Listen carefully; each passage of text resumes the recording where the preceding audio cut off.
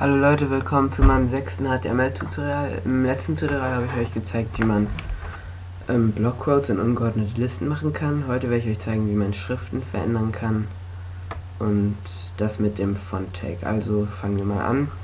Ähm, mein schreibt irgendeinen Text zwischen die Body-Tags, zum Beispiel mein schöner Text und ähm, das kopiere ich jetzt mal, um ein Paragraph zu repräsentieren. So, das reicht. Ähm, jetzt, damit ihr den Unterschied erkennt, werde ich erstmal erst also einen Teil so lassen, wie es ist, und den anderen Teil verändern. Ähm, dazwischen tue ich ein Break Tag oder lieber zwei Break. Ups. Also die Break Tags kennt ihr ja schon damit man den Unterschied besser sehen kann. So, also das ist jetzt mein Text, wie er jetzt ist. Und jetzt werde ich ihn verändern. Und das mit dem Font-Tag. Also Font-Tags sind, wie der Name schon sagt, werden die Font geschrieben. Also Tag und dazwischen, zwischen die Größe und Gleichzeichen schreibt man Font. Und wie bei allen Tags werden die Attribute in den Öffnungstag geschrieben.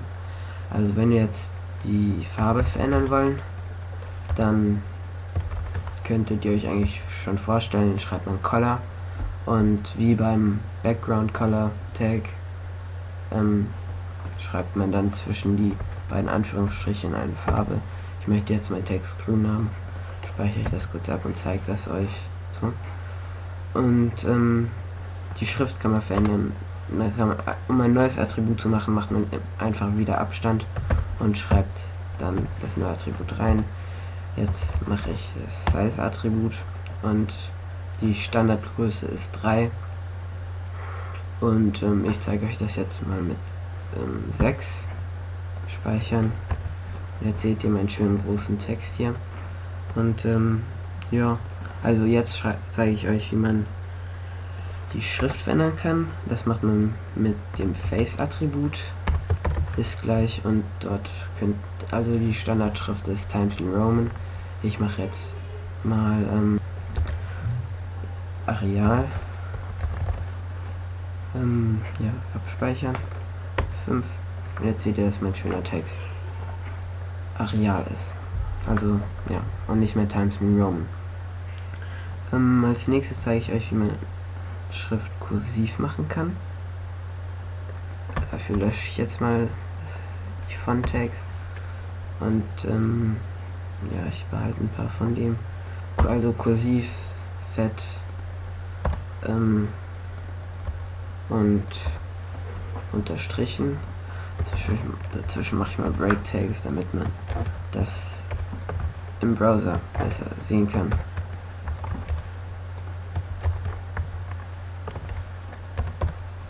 So, ähm, ja. Ähm, um das fett zu machen, braucht man den Bold Tag, also man macht einen Tag und dazwischen schreibt man nur B. Eigentlich am einfachsten zu merken. Ups, hier habe ich was. Okay, so. Das zeige ich euch jetzt mal. Das seht ihr meinen schönen fetten Text. Und die anderen sind I für Italic und Kursiv. Ähm, hier mache ich einen Tag für Unterstreichen. Das ist U. Den schließe ich jetzt hier wieder. Und durchgestrichen, das ist S. Für wahrscheinlich Strike Out oder sowas. Und ja, ich speichere das jetzt mal und zeige euch das. Jetzt seht ihr all meine verschiedenen schönen Texte die hier unterstrichen, fett, kursiv und durchgestrichen sind. Ähm, wenn ihr das bei einem Paragraphen machen wollt, also einen ganzen Paragraphen fett machen wollt, dann macht ihr einfach euren Paragraphtext, den kennt ihr ja schon, äh, Tag meine ich, und dazwischen macht ihr mein cooler, cooler Paragraph. Wenn ich denke, das falsch schreibe, dann ist das nicht so schlimm, ist nur ein Beispiel. So, wenn ich jetzt das, den ganzen Paragraph verändern möchte, dann schreibe ich direkt nach dem Paragraph-Tag ein Font-Tag und hier vor dem bevor der Paragraph-Tag fertig ist, ähm, schließe ich den Font-Tag. Also zwischen den Paragraph-Tag mache ich den Font-Tag und dann kann man hier einfach die Attribute reinschreiben. Size ist gleich, wenn man jetzt ein kleineres haben möchte, 1, zeige ich euch mal, wie klein das ist. Ziemlich klein. Ich weiß nicht, ob man noch 0,5 machen könnte. Mal schauen. Nee, das geht nicht. Aber gleich 0,5.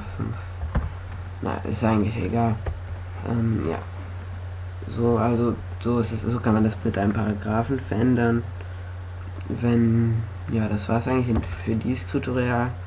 Ähm, oder nee, ich kann euch noch kurz zeigen, wie man Spa also ähm, Leer, wenn man Leerzeichen zwischen Texten machen kann, weil wenn man jetzt hier zum Beispiel Text macht und ähm, der soll hier weitergehen.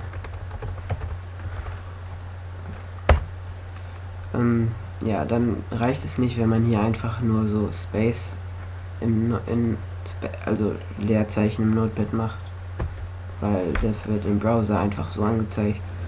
Deswegen braucht man sogenannte Non-Breaking Space Symbols und da schreibt man einfach ein Und-Zeichen, dann BSP und dann ein ähm, Punkt, äh, Strichpunkt und ja, also zwischen solchen Text ist normalerweise immer einfach ein Space und wenn man so solche ähm, solche Space Symbols dazwischen tut, dann kommen da Space, da kommt da Platz dazu. Also das war's ähm, für dieses Tutorial. Im nächsten Tutorial werde ich euch zeigen, wie man Links macht.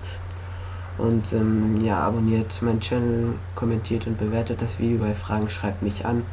Ich hoffe, ich habe euch geholfen und tschüss bis zum nächsten Mal.